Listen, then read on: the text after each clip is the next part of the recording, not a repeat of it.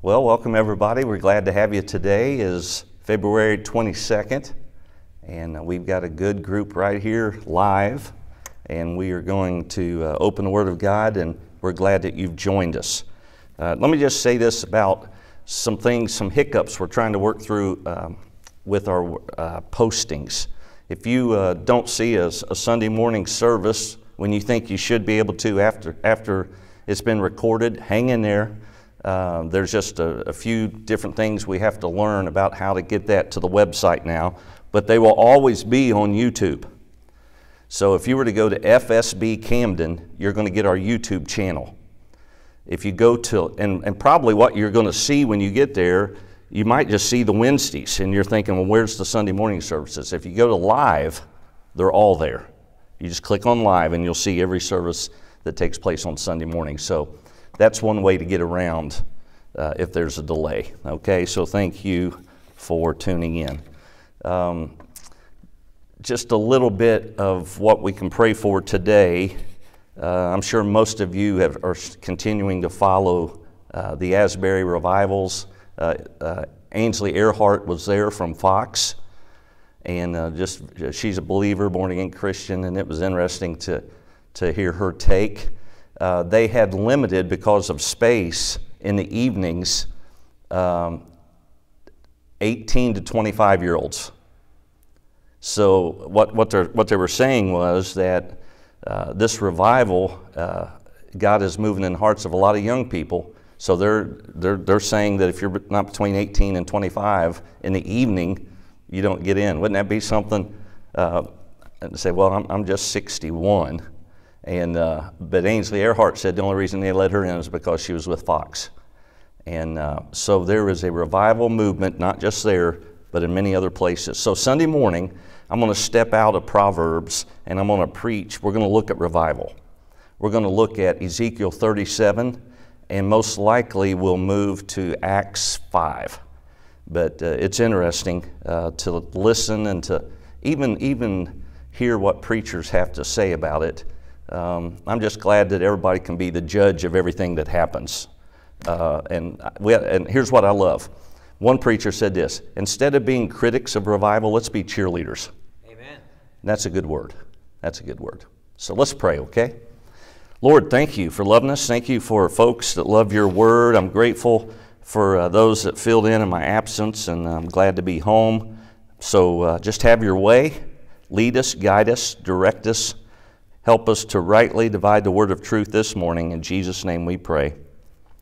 Amen. Um, I want you to uh, take your Bible and turn to Colossians chapter 2. Realize we didn't have 1030 last week. I appreciate Tim Fritchie stepping in, taking care of the 630. And we're thankful for those that continue to serve faithfully in our kids' ministries on Wednesday night. Would people consider you a mature Christian? Do you know any older folks that are babies? Do you know any teenagers that supposedly had matured, but they act like babies? Um, do you know any young people that seem to be uh, mature beyond their age? I think we all do. Uh, well, it's important as a believer that we grow, that we mature in our faith. And sadly, sometimes the fruit of that in our lives is not clear. So, Paul, when he addresses the church of Colossae, he talks about the importance of growing and maturing in your faith. Um, when you get to chapter 2, one commentator said that we now recognize the great need of the church is for mature people who are consistently growing in the Lord. Um, consistent. Consistent. Do you know anybody that's um, that in their Christian faith they, they sprint and then they walk? They sprint, then they walk. They're all in for a few weeks and then disappear for a few months.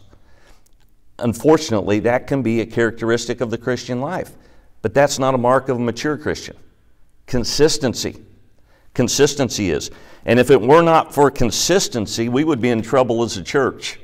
uh, Sunday school teachers, uh, volunteers on Wednesday night, nursery workers would just say, I'm not coming, and, and just burn everybody uh, because of their lack of faithfulness. So, as we grow in our faith, we're called to be consistent, consistently growing in the Lord. Um, I was gone last week from Wednesday, uh, got home Saturday evening. Um, Cody was scheduled to preach. Uh, Cody was not scheduled to do the funeral for me. And I was grateful that he stepped in and took care of that uh, in the needs of Jay's family. Um, but uh, let me just give you a little background of, of where I was. I was about an hour and a half west of Jacksonville, Florida, with David Burton Ministries, Board of Directors, uh, on a 750 acre ranch. Now, I don't know if you can put that in your mind, that's a big place. Um, beautiful lodge kind of setting. Uh, there were seven total of us there, nobody else was on the whole place. And uh, it was a glimpse of isolation that was unbelievably quiet. And I think that uh, that's something that, uh, that I've missed a little bit in my own life. And it kind of challenged me to want to take advantage of those times better here. So let's begin. I'm going to read the first seven verses of Colossians chapter 2. Uh, keep in mind that Paul was not the pastor of the church of Colossae, Epaphras was. So Paul is writing them and he's encouraging them, and we'll pick it up, chapter 2, verse 1. For I want you to know what a great conflict, okay? Does anybody have a different translation than New King James? Okay, struggle. All right? For I want you to know what a great struggle, a conflict I have for you and those in Laodicea as for many as have not seen my face in the flesh, that their hearts may be encouraged, being knit together in what? Love, and attaining to all riches of the full assurance of understanding, to the knowledge of the mystery of God, both of the Father and of Christ, in whom are hidden all the treasures of wisdom and knowledge. And now this I say, lest anyone should deceive you with persuasive words. For though I am absent in the flesh, yet I am with you in spirit, rejoicing to see your good order and the steadfastness of your faith in Christ. And as you therefore have received Christ Jesus the Lord, so walk in him, rooted and built up in him, and established in the faith, as you have been taught, abounding in it with thanksgiving. And I'll just read the, these last few verses because the challenge for uh, the church was uh, the, the belief of the Gnostic that there was a special revelation. And here's what uh, Paul was reminding them verse 8 Beware lest anyone cheat you through philosophy and empty deceit, according to the tradition of men according to the basic principles of the world and not according to Christ. For in him dwells all the fullness of the Godhead bodily, and you are complete in him, who is the head of all principality and power. Now, let's, let's just jump right back to verse 1, okay? Uh, for I want you to know what a great conflict. So I mentioned that word uh, means struggle. It's where, uh, the original, it's where you get the word agonize. Okay, agony. All right? So, in essence, Paul is saying uh, he is struggling. Um, and, and this is a battle. I wrestle in prayer for believers uh, of the church.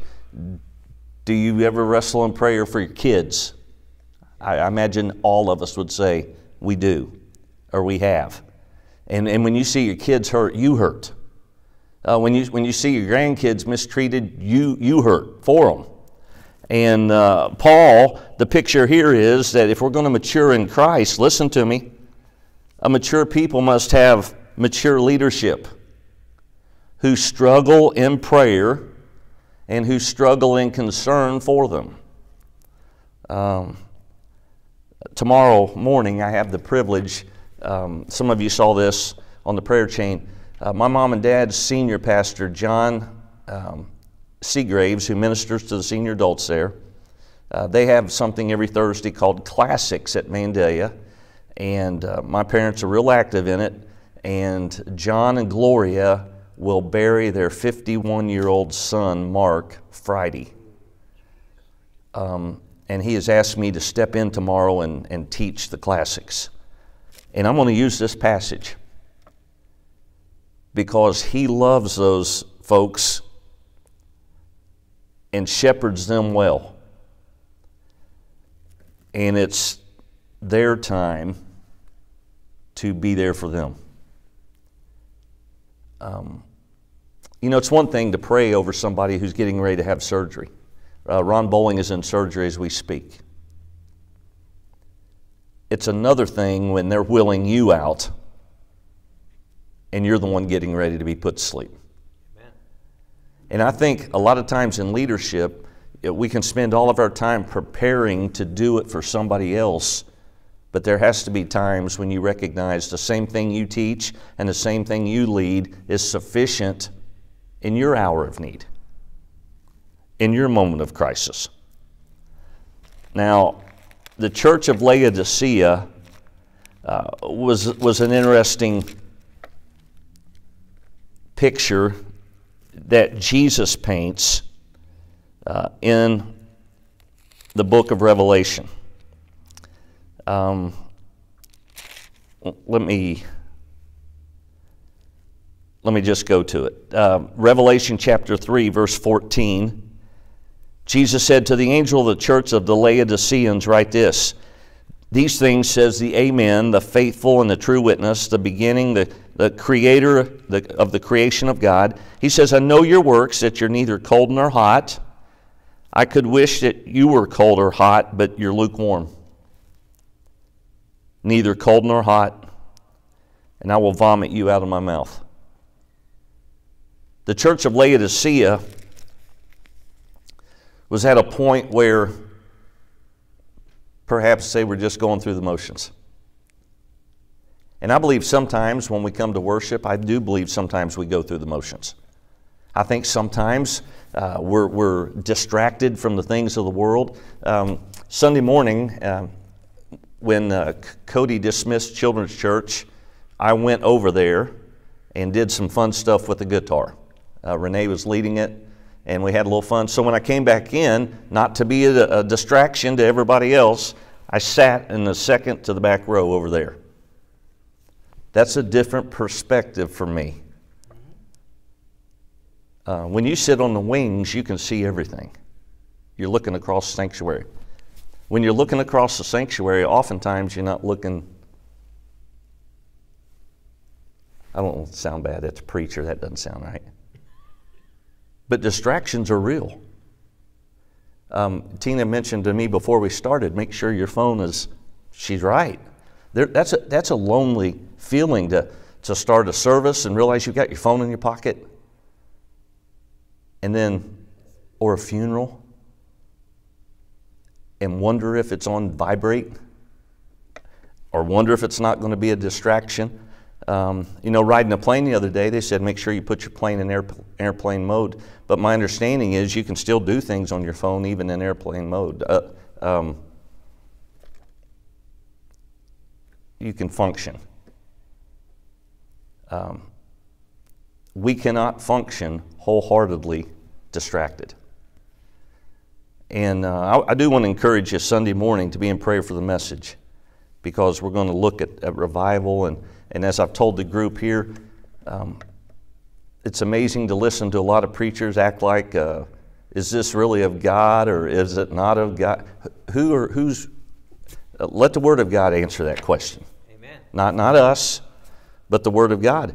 And, and we should, as we've mentioned, not be critics of revival. We pray for it. We should be cheerleaders of what God wants to do. Actually, this church should be cheerleaders of what God's doing in any church. Praise, praise the Lord when somebody shares with you what's going on in their place. Somebody's getting saved. Uh, just God is doing something fresh. We ought to praise the Lord for what's going on. And uh, that's what we're going to do as a church. So his concern was uh, I've got this conflict for you. I'm struggling because uh, maturity is, is an important thing when it comes to uh, serving the Lord.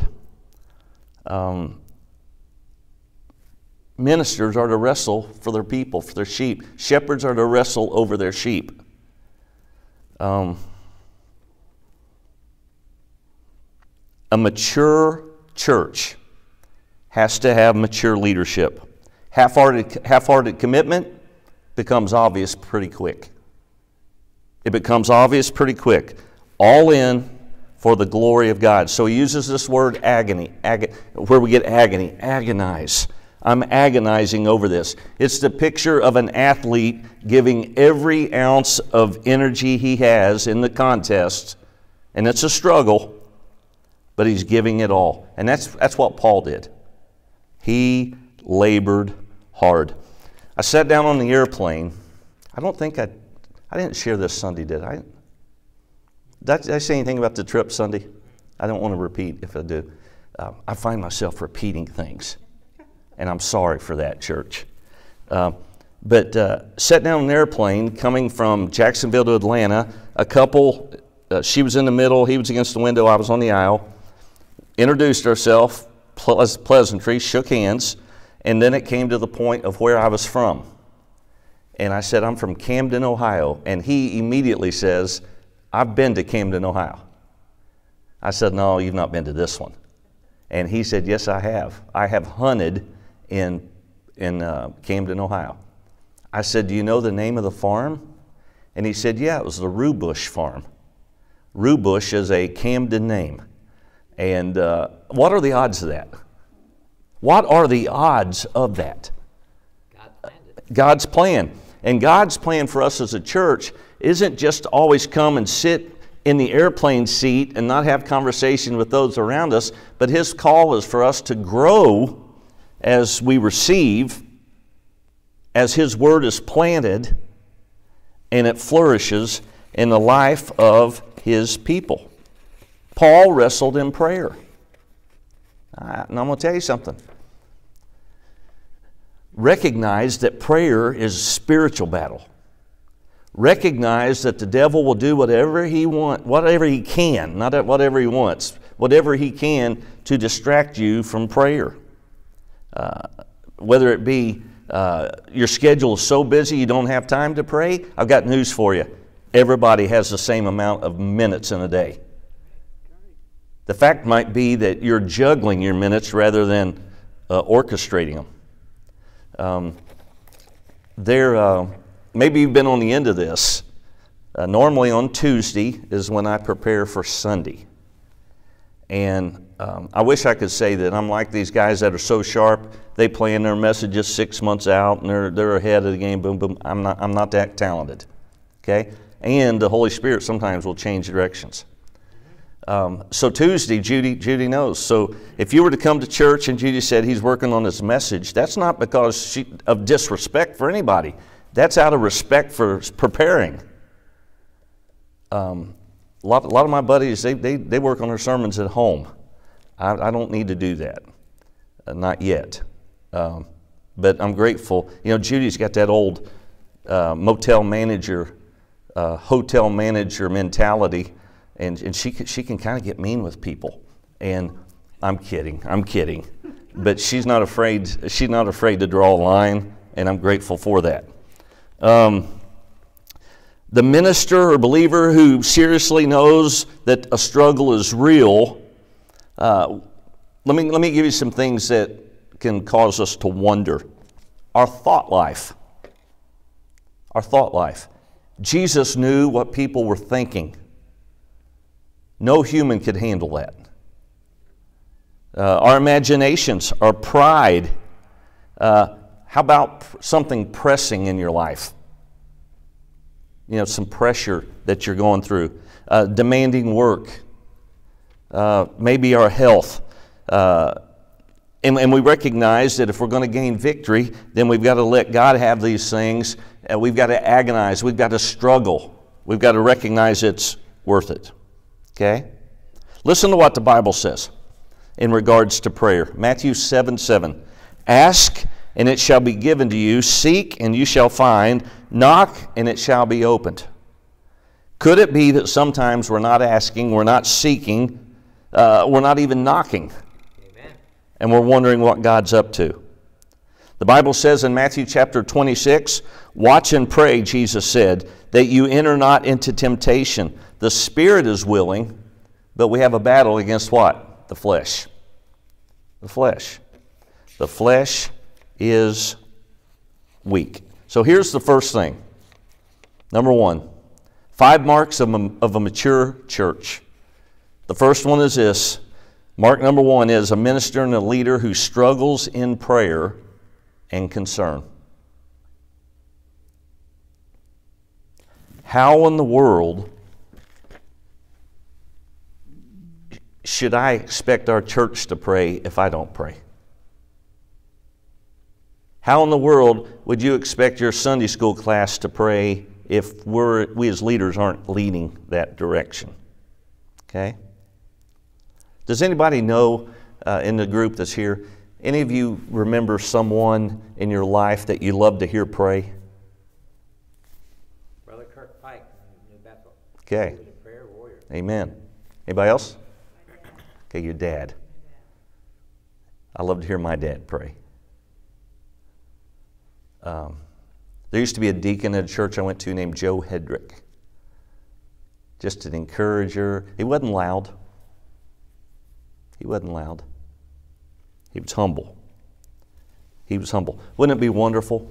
Um, the other day, as seven of us sat there in, in Florida, uh, we, we talked about when we got saved and, and who God used to, to teach us and to lead us, and, and, and names just began to go around the circle. And I thought, wouldn't it be wonderful if the Lord tarries and we're gone one day to have our name mentioned in a circle by somebody like Kirk Pike? Is he still alive, Bill? Or he, yes, he is. Okay. He, he's back at Blue Bethel and he's doing well. Okay. Um, Paul writes these words in Ephesians chapter 6 verse 18, pray always with all prayer and supplication in the spirit and watch with all perseverance and supplication for all saints. And then he says in 1 Thessalonians 5:17, pray without ceasing. Pray without ceasing.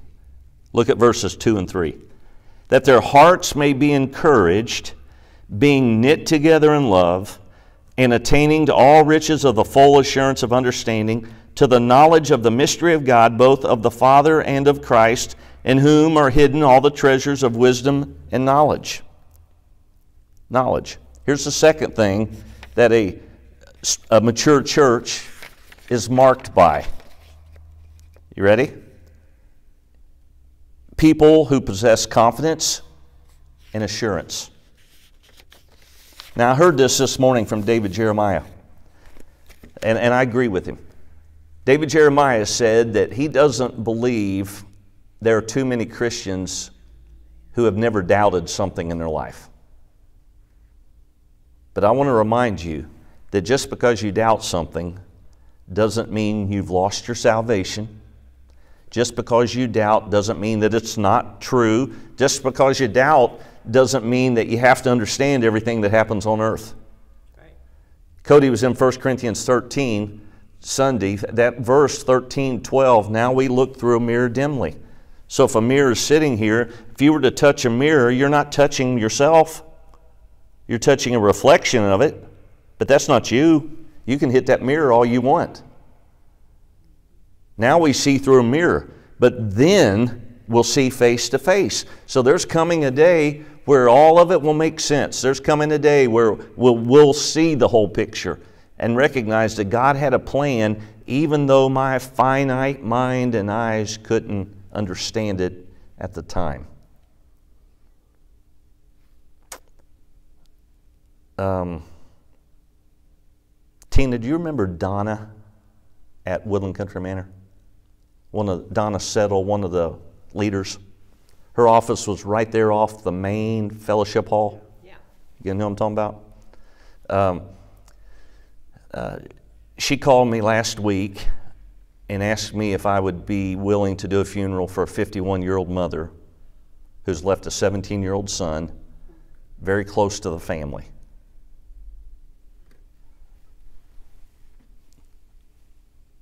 How do you explain to a 17 year old boy why his 51 year old mom's gone? We may not understand it,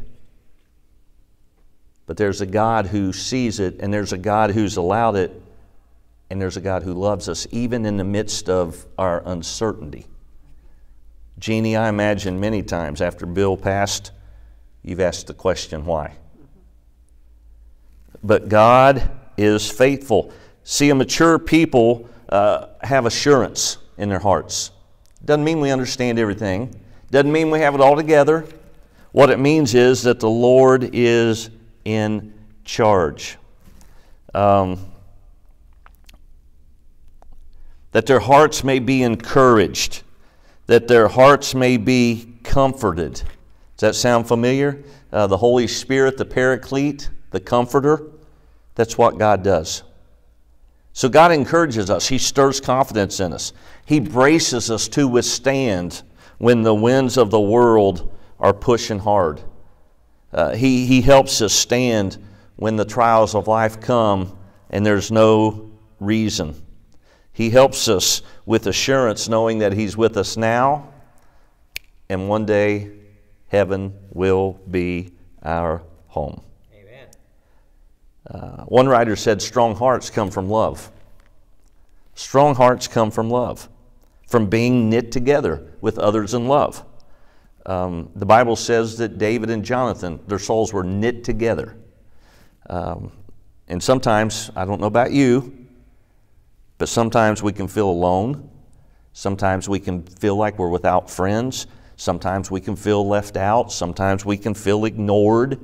Sometimes we can feel unloved. And that might happen even from somebody who is a blood relative of you.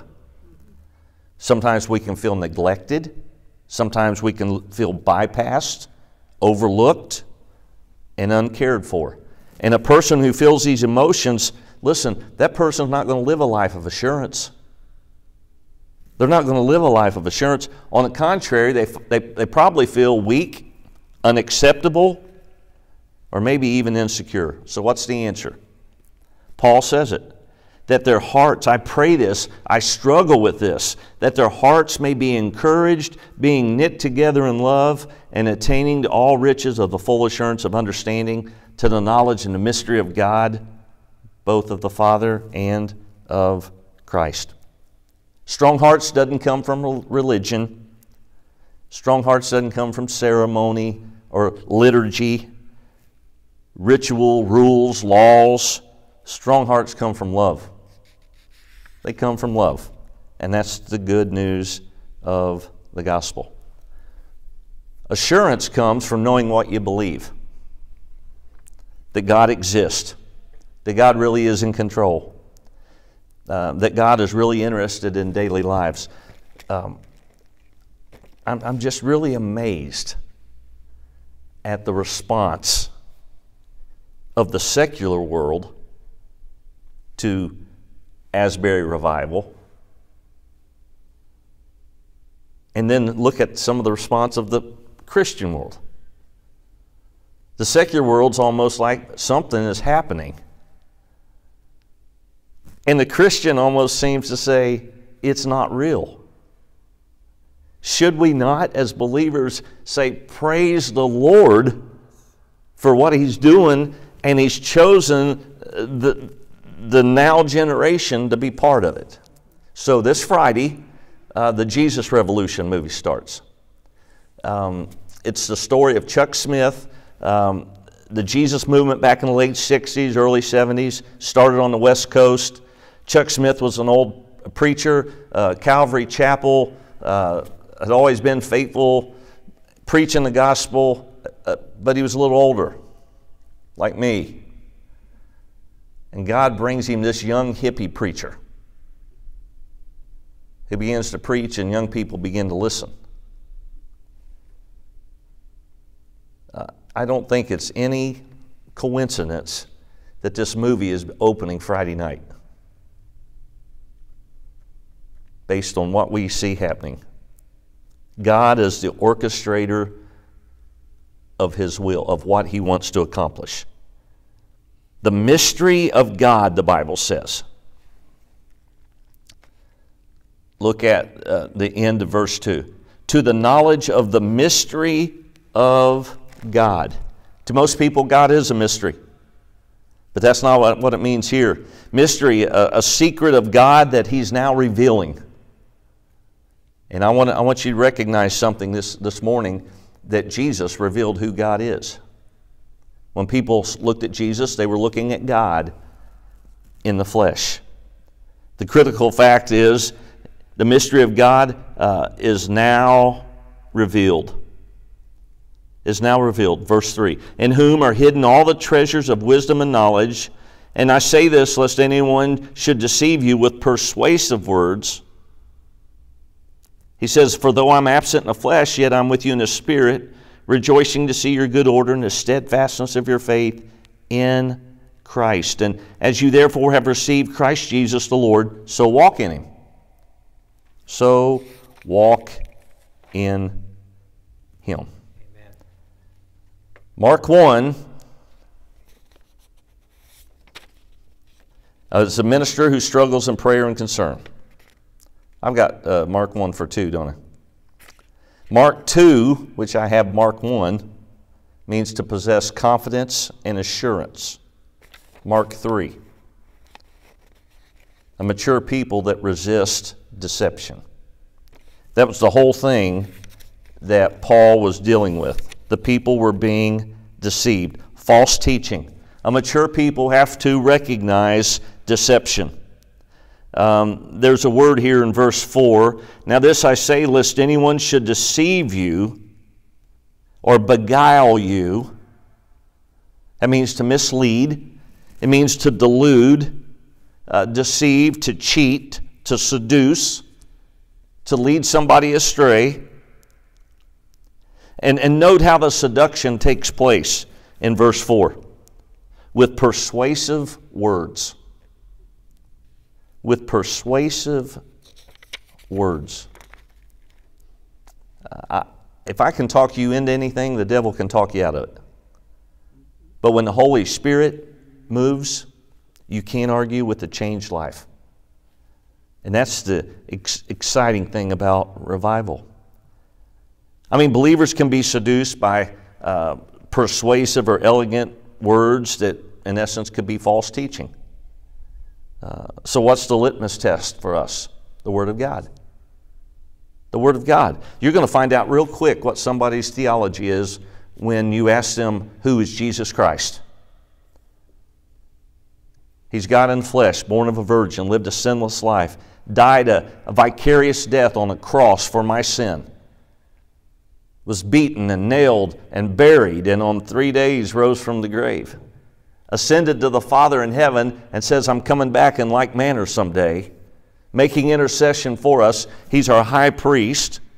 When we pray to the Father, listen, it goes through Jesus. Uh, the world's beguiled, and, and even false teaching can try to pull the believer astray. Um, and it might be an argument against creation. It might be an argument that uh, I'm my own man, I'm my own woman, and I can define who I am, and I can define, uh, I can define a different gender for myself. That's the world in which we live. Um, it might be somebody arguing that there's another way to be saved. It could be an argument against this perfect sinless life. It could be an argument against the substitutionary death or the resurrection of Jesus, and we're not saved by grace through faith. It could be an argument that heaven is real, but hell's not. And everybody's going to heaven when they die. Folks, that's contrary to Scripture. I don't say that out of love. If you're, if you're just telling people that everybody goes to heaven when they die, you're not, you're not sharing a, a message of love. You're sharing, you're sharing a message of, of wishful thinking. The Bible says we're all sinners separated from God, and the good news is Jesus died to bridge the gap so that we could go to heaven. So you come to Him by faith. And I'm looking at a small group here this morning, and somebody's watching, but you remember when you gave your life to Christ, we may have all come different directions to get to the point of receiving Christ, but we all came the same way to God, and that was by faith in what Jesus did on the cross. Amen. Hey, I tell you what's hard to believe. If the Lord tarries, today is the 22nd. We are bearing down on the end of February. Now, let me repeat my philosophy the older I get. Every day it is not snowing in February is one day closer to spring. and every day that you live as a Christian, listen to me, you're one step closer to heaven. That's right. Now, I want, to ask, I want to ask you sitting here do you really believe that Jesus is coming? Amen. Amen. We are closer to the return of Christ than anybody in human history because we're alive.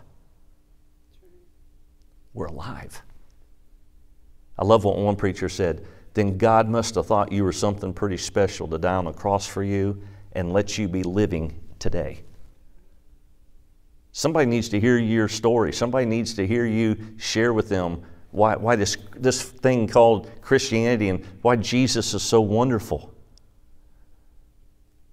If I were to ask that question, Brother Greg, why, why, why is Jesus so wonderful? I would say because he first loved me. He knows everything about me, everything I've ever said, everything I've ever thought.